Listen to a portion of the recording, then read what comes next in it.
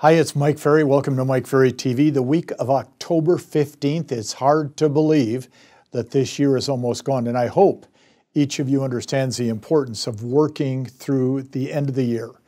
The year does not end on October 1st, it ends on December 31st.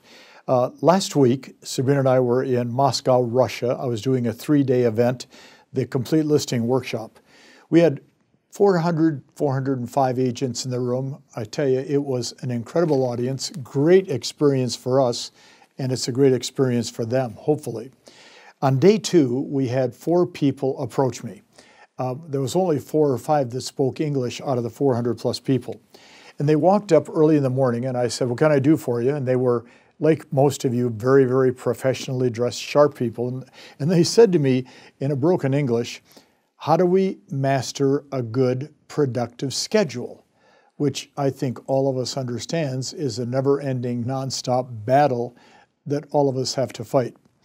And I said to them, and I want to read you the quote I said, You have to master not letting distractions run your day or run your life. I said, Because the truth is, real estate people are the masters of letting distractions run their day and run their life. And they kind of looked at me with a little bit of a head tilt, like it was a question mark. And one of them said, Well, I, am not sure I understand what you mean by letting distractions run our life. I said, Well, let's, let's do this. I said to each one of them, What time do you show up in the morning for work in the office? One said 7:30, one said I think 9:30 and then two said 10. I said, "Okay.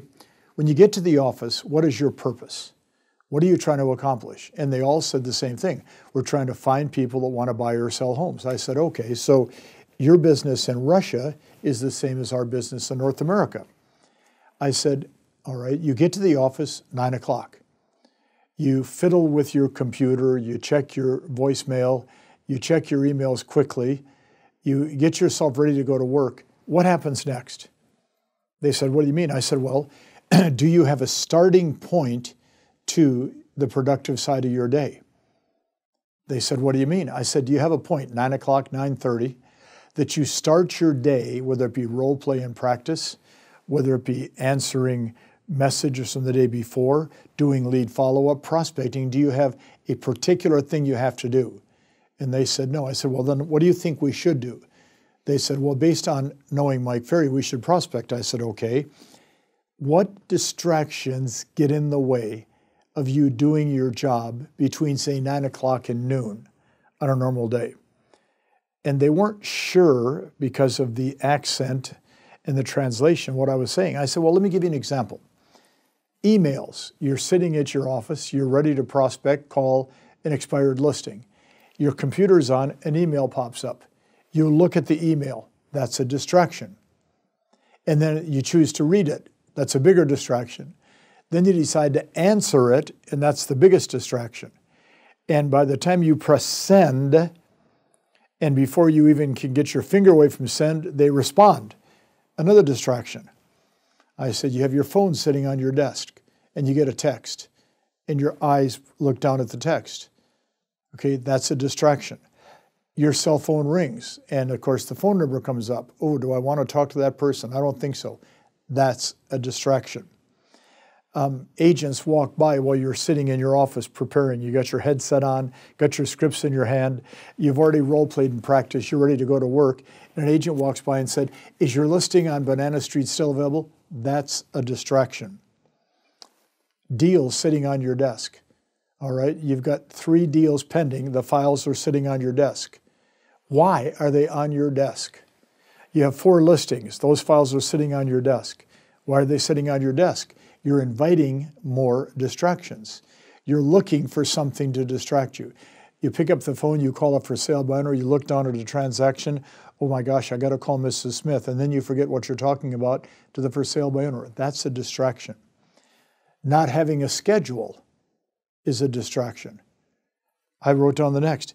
Not having any strong goals that keep you working all day long is a distraction. Complacency is a distraction. Not time blocking is a distraction. Well, I went through about 10 of these with them, and they were kind of looking at me like, oh my gosh, I, am sorry that I asked. And I understood that response. So then I said, really, the ability to manage your time really comes down to our ability to understand two words in the English language. So I want, I'm going to ask you, the four of you now, to tell me what these two words are in Russian. And it was kind of cute because I gave them the two words in English. They gave me back the two words in Russian. And believe me, I did not understand what they were saying. But their body language told me. I said, here's word number one if you want to master your schedule. Learn to the word focus 100% on the task at hand when you're supposed to be doing your job. Focus, which means you have your cell phone turned off, you have your iPad turned over, okay? You clean off your desk of the files and the listings that you have. You focus on the job at hand because there's nothing there to distract you. You put a stop sign up on the edge of your desk. It just says stop. So when an agent walks by and sees the word stop, they don't stop and bother you. Okay? Or you put your headset on and you turn away from the aisle where an agent could walk up and distract you. Focus. Then I said the second word is the word discipline. The ability to be disciplined to do your job. And let's be honest, discipline is hard.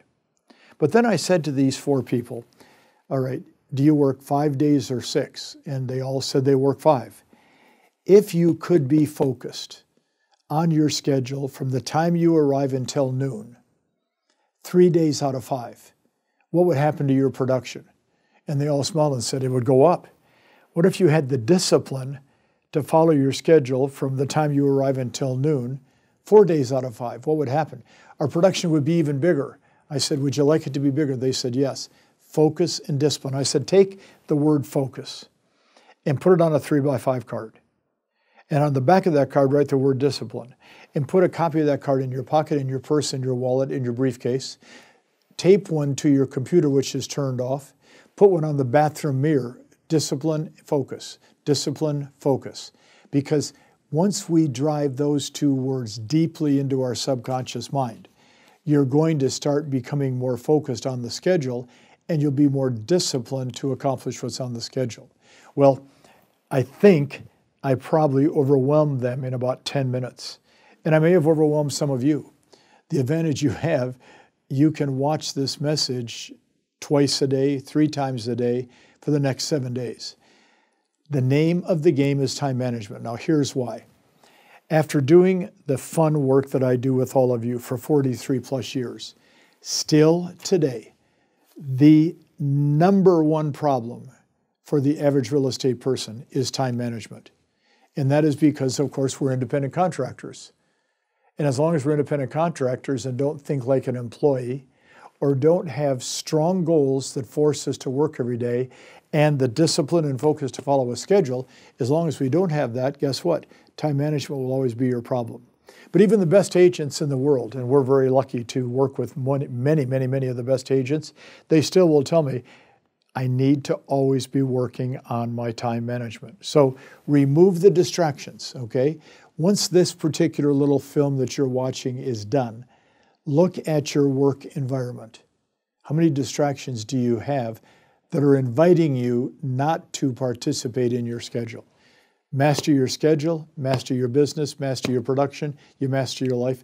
Thanks for watching. Look forward to talking to you next week. Have a great non distraction week this week. Thank you.